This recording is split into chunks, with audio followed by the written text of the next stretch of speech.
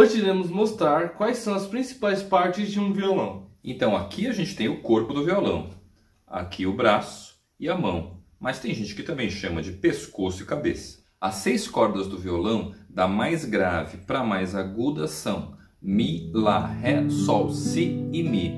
E essas cordas estão presas nessas partes de plástico, se o seu violão for de nylon. Mas se o seu violão for de aço, essas peças costumam ser metálicas.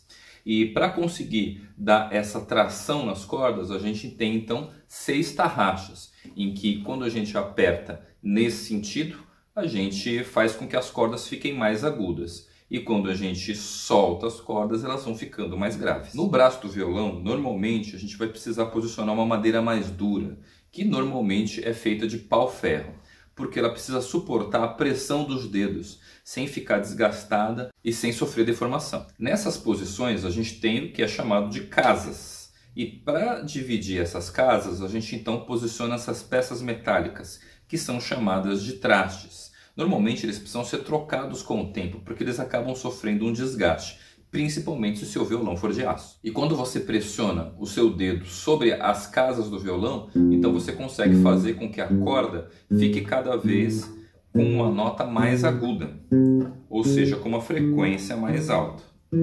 E aqui eu consegui passar de um Mi para um outro Mi, uma oitava acima. Quando o braço do seu violão pode estar levemente desregulado, quando você pressiona as casas, você percebe elas darem uma trastejada, que é mais ou menos esse barulho aqui, ó. Isso aconteceu porque eu puxei a corda muito forte, mas esse violão está bem reguladinho. Então, quando eu monto um acorde, por exemplo, de Sol maior, você percebe que o som dele está bastante limpo. E você sabe que chegou o momento de trocar esses trastes quando, por exemplo, você consegue perceber ele trastejando demais.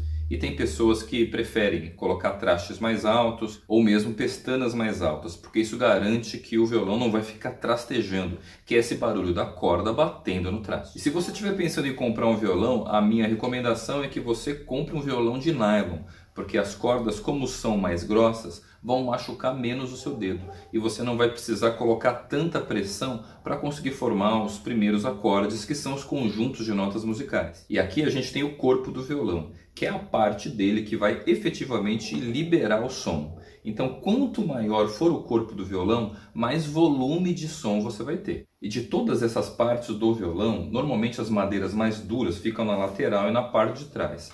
Na parte da frente, a gente tem o tampo do violão, que é a parte mais importante. É ela quem vai definir qual é o timbre do seu violão. E para entender como um violão funciona, você pode pensar assim: quando eu coloco uma corda para vibrar, ela vai ficar vibrando entre esses dois pontos. Caso eu posicione o dedo aqui na quinta casa e coloque ele para tocar, ele vai ficar vibrando entre esses dois pontos. O que, que essa peça que a gente chamou de rastilho vai fazer basicamente? Ela vai transmitir essa vibração para o cavalete e o cavalete vai transmitir essa vibração para todo o tampo do violão. E é o tampo do violão que, ao vibrar, vai formar essa onda sonora que, ao chegar ao seu ouvido, você vai interpretar como sendo uma nota musical. E esse buraco que tem no violão serve simplesmente para haver uma regulagem de pressão entre a parte de dentro e a parte de fora. Porque se ela fosse completamente fechada, o tampo teria dificuldade de vibração, porque quando ele estivesse indo para fora, ia ter uma baixa pressão dentro do violão, ou quando ele estivesse indo para dentro, ia ter um acréscimo de pressão. Então, esse buraco ele ajuda a fazer uma regulagem de pressão entre a parte interior e exterior.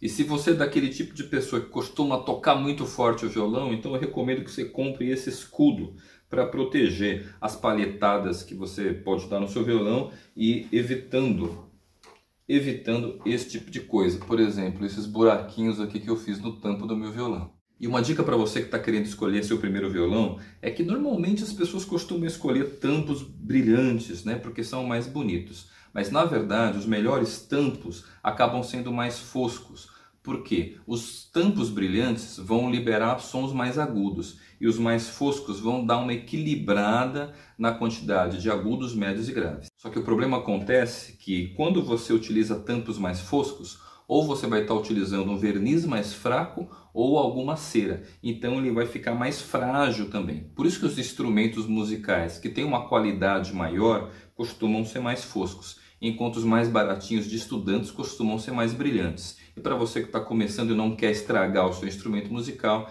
então é melhor comprar um de tampo mais brilhante mesmo. E para você que está querendo comprar um violão, não esqueça de considerar no seu orçamento uma capa ou um case, que costuma ser mais rígido que uma capa, para proteger o seu violão da chuva e do sol. E para você que precisa tocar de pé, porque você vai precisar fazer uma apresentação ao vivo, é sempre importante considerar utilizar uma correia, em que ela vai ficar presa no seu violão por esses dois parafusos.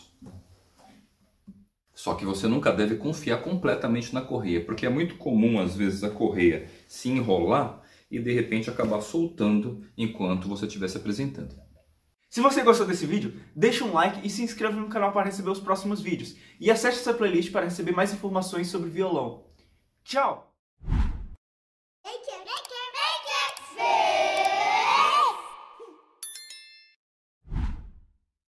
O cavalate serve para segurar as cordas. Cavalate não, mano. que cavalate, mano?